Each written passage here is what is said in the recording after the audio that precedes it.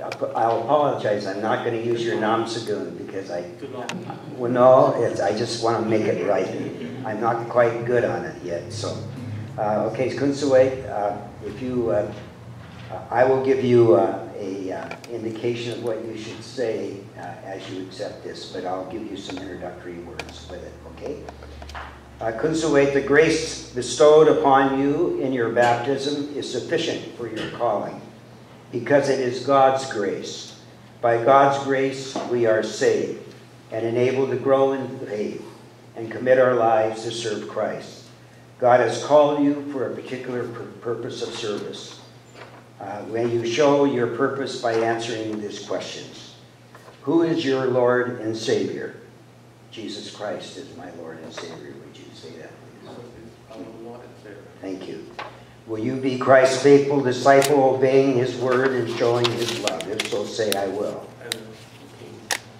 Do you welcome the responsibility of this service because you are determined to follow the Lord Jesus, to love neighbors, and to work for the reconciling of the world? If so, say, I do. I do. Okay. Um, We will uh, now have a commissioning prayer, and let us all pray as we pray for Kutsaway and for the pastor nominating committee. Let us pray. Holy God, you know all things good for us, and your Holy Spirit leads us in your way. Guide the members of the pastor nominating committee and Kunsaway as you have prepared to serve your people. Open his mind and discern your will, and the mind and hearts of the committee. They may look at all candidates fairly.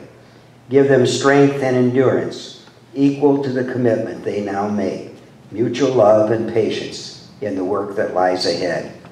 Prepare this congregation to receive their new minister with joy and instruct us, us all as we accept new ways. We pray in the name of our Lord Jesus Christ and thank you for Kun Sawig coming together to be a new person on this committee. In Christ's name we pray. Amen. Carne.